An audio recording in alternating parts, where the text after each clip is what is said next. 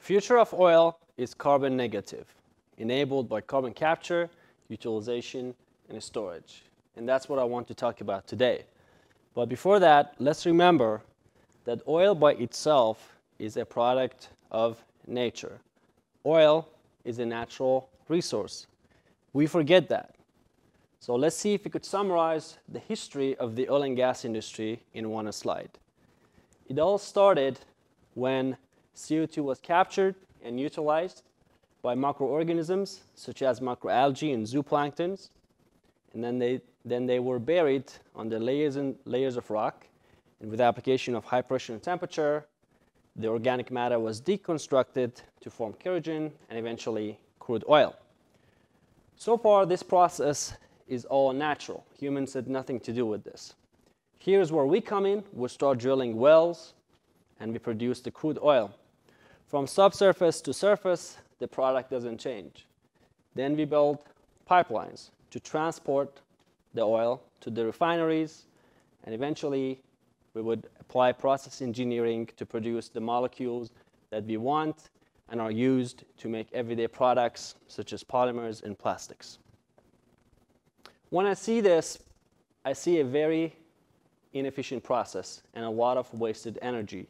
I don't think this is how we should be producing the molecules that we want in the year 2020. We have made a lot of improvements in the second part of the process. We have better drilling bits. We drill horizontal wells. We have advanced process control for refineries. But hardly anything has changed about the first part of the process. I mean, how could we? This is nature. It takes millions of years. I'm here to say that is about to change, and that's enabled by synthetic biology. Synthetic biology allows us to engineer microorganisms to produce the specific molecules that we want. It allows us to replace chemical manufacturing with nature-inspired biomanufacturing. And it has already disrupted many industries. Pharmaceutics was the first one, food and nutrients. That's why you could get an Impossible Burger at Burger King. And now it's going to cosmetic, fragrance, and even cannabis. In my last startup, Biota Technology, we commercialized DNA sequencing in the oil and gas industry, looking at DNA of microbes in the oil and in the rock, and building subsurface maps to tell operators where is the oil coming from. It was kind of like 23andMe in oil wells. Biology has the power to take in carbon dioxide from the air, energy from the sun, and water, and produce complex systems that could store energy, produce aroma, form complex structures, and also produce beautiful colors. What if we could harness the power of nature to reverse climate change and shape a new future for the oil and gas industry. What would that look like? Let's see. On one hand, we could use the CO2 that is already in the air, that is being produced by refineries, power plants. There's no lack of CO2. We could then feed that into engineered microorganisms and scale up the process to produce the molecules that we want. This way, we'll be eliminating a lot of the steps compared to the workflow that I showed for the history of the oil and gas industry. On one hand, since the method is nature-inspired, reactions happen under ambient pressure and temperature. Therefore, we save all the emissions due to high energy-intensive chemical processes. And since we use CO2 as a feedstock, the end products are carbon negative. Now, let me give you an example to make all of this very tangible. Let's say if we want to make ethylene from CO2. Turns out that in nature, bananas produce ethylene in the ripening process. And we have known of this for a long time. As a matter of fact, produce companies inject ethylene in their cold storage rooms um, to control and plan for the logistics of when they want the banana to be ripened enough to be on the shelf for the customers. Since it's 2020, we know the genome of banana, and we know the exact line of code that is responsible for the enzyme that is producing ethylene. We could take that, we could integrate that into a microorganism that is uh, efficiently using CO2 as a feedstock, and now we have a super microbe that could produce ethylene from CO2. We've done three things here. One, we've eliminated naphtha and ethane as feedstock.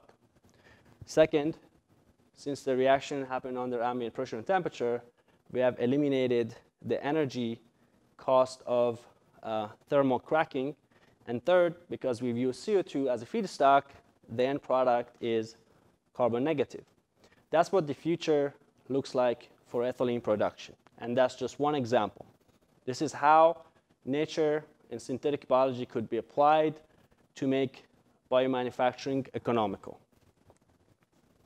Why do we need to do any of this? Because the CO2 levels are rising, and now we know, because of the IPCC report and the Paris Accord, that reducing emissions alone is not enough. We also need to invest in and deploy carbon negative technology. Companies with high carbon footprint that ignore this will become irrelevant in the next few decades. They will become irrelevant not because they're not profitable, but because they will get cut out of ESG criteria, environmental, social, and governance pool of investments, and they'll lose their social license to operate. So, is CO2 a threat or is it an opportunity? I believe it's an opportunity if we learn how to use it as a feedstock. To put that in perspective, let's look at how humans have used different sources of carbon throughout history. In the 19th century, we used coal.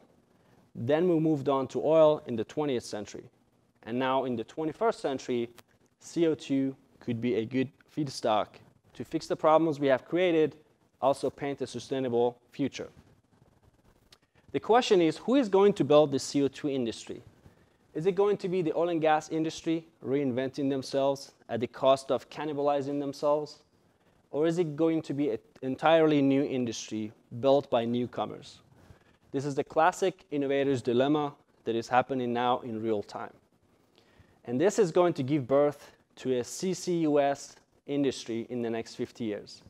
Carbon capture, either directly from air or from flue gas of refineries and power plants, CO2 utilization to then use that to produce the chemicals and fuels that we want, and CO2 storage. I give CO2 storage a thumbs down because I think the business model for it, it will go away because of the CO2 demand for utilization. Now, with this context, let me share with you what we're working on at Cemvita Factory to play our role in energy transition. The story of Cemvita Factory started with a simple idea to mimic photosynthesis and use the CO2 that astronauts breathe out and produce glucose as a calorie source for deep space exploration. Two years later, we're building that system, and it will be on the International Space Station hopefully next year.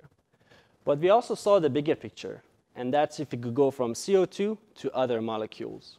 So that evolved into our mission, which is to create carbon negative economical solutions for a sustainable future. To see CO2 not just as a liability, but as a resource, and use it as a feedstock to build carbon negative products. So we assembled a team of scientists and engineers with backgrounds in energy and oil and gas, and also biotech and synthetic biology, guided by a world-class advisory board, and we went to work.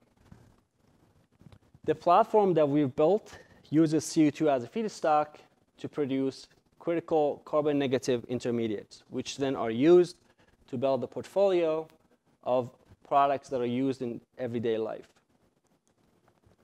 We have 30 molecules that we could make from CO2. So we go to companies with high carbon footprint and we ask them, is there a molecule that you'll be interested in making from CO2 emission sources that you already have?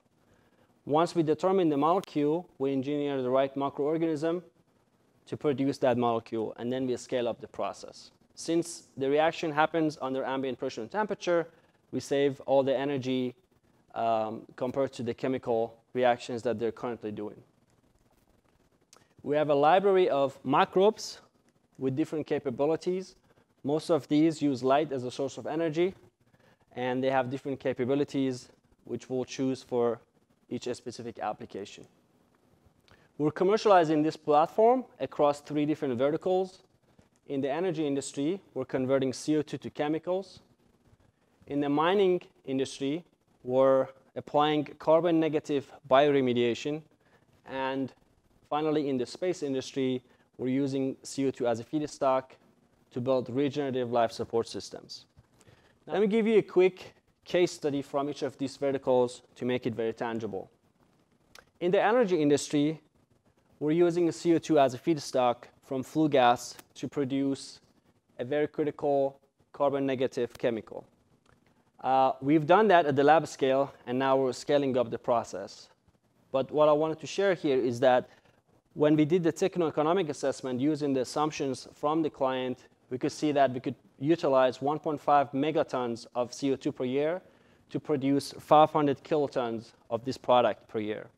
And we do it at a cost of 30% less than what they're producing it today. And added bonus is that the product is now carbon negative. In the mining industry for acid mine drainage, which is a leftover of the mining process where contaminated water is stored in a pond, let's say with a pH of 2, and it needs to be remediated. We have extremophiles that we could apply here that could degrade the heavy metals and increase the pH. In this case, we're able to increase the pH from 2 to 8. And when we do the techno-economic assessments, we could see that we could remediate 1 billion gallons of the contaminated water within a course of a year and a half or two years. So for a pond like this one on the left side that has 3 billion gallons of uh, contaminated water, we could remediate this in a course of five to seven years, whereas their own plan is to do that within the next 50 years. And finally, for deep space exploration, we plan to use the CO2 that astronauts breathe out as a feedstock to produce glucose, which then they could eat um, as a food source or use as a building block for biomanufacturing of more complex nutrients and pharmaceutics. We succeed only if we bring these pathways to life. And so from the very beginning, we have a special focus on techno-economic assessment and life cycle assessment for scale-up, from test tube all the way to full-field commercialization. And we do this in collaboration with our clients and with EPCs. What is the carbon removal capacity of our technology? If we could commercialize all the 30 molecules that we have, coupled with two R&D projects, we could actually get close to one gigaton of CO2 utilized by 2050.